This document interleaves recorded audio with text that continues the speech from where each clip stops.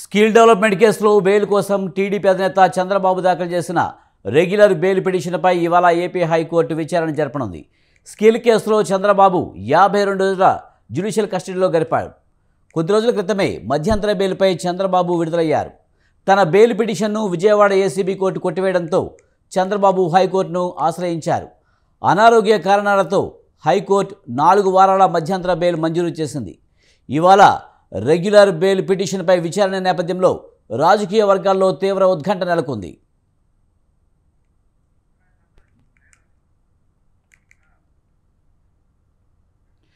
Skill development కేసులో bail కోసం TDP అధినేత చంద్రబాబు దాఖలు చేసిన రెగ్యులర్ బెయిల్ పిటిషన్పై ఇవాళ ఏపీ హైకోర్టులో విచారణ జరపనుంది. స్కిల్ కేసులో చంద్రబాబు యాభై రెండు రోజుల జ్యుడిషియల్ కస్టడీలో గడిపారు. కొద్ది రోజుల క్రితమే మధ్యంతర బెయిల్పై చంద్రబాబు విడుదలయ్యారు. తన బెయిల్ పిటిషన్ను విజయవాడ ఏసీబీ కోర్టు కొట్టివేయడంతో చంద్రబాబు హైకోర్టును ఆశ్రయించారు. అనారోగ్య కారణాలతో హైకోర్టు నాలుగు వారాల మధ్యంతర బెయిల్ మంజూరు చేసింది.